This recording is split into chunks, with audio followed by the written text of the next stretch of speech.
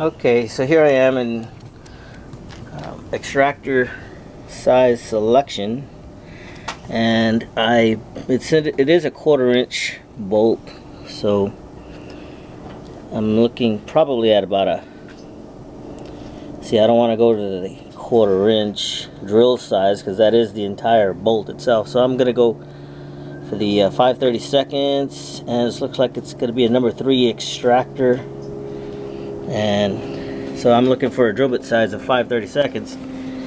So that's the number three extractor. So I've got these diamond uh, bits that I got also from Harbor Freight.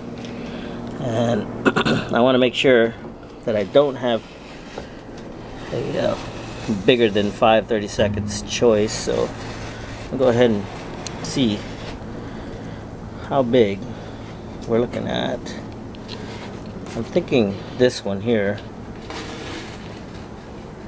That's a. 0.02 so that's gonna be too big. So I'm gonna need something smaller. I'm thinking maybe this one. That's a 0.176 which is good. So I'm gonna go ahead and go with that one. I'm gonna use that to drill or to cut into the uh, old bolt. Alright